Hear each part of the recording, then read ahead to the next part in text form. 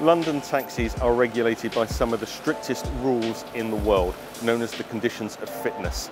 This regulates things such as wheelchair accessibility, but also it means that they have to make a turn in a 25 foot circle. This particular dimension came about from the roundabout at the Savoy Hotel and when the conditions of fitness were first written in the early 1900s, the Savoy Hotel was one of the best hotels in the world.